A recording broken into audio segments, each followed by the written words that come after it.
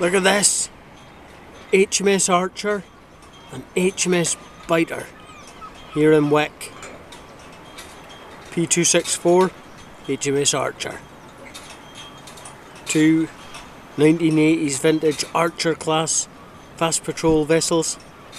Royal Navy presence here in Wick. Wonderful sight.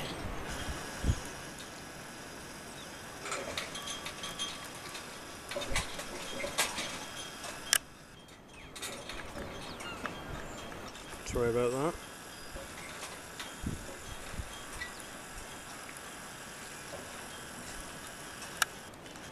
HMS Archer and my favourite HMS Biter.